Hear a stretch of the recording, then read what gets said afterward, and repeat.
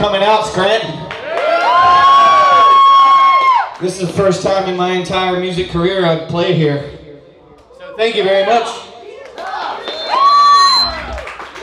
We're gonna play a shitload of weed metal for you. You wanna hear more weed metal? Alright, this one is called Fucked with Northern Lights.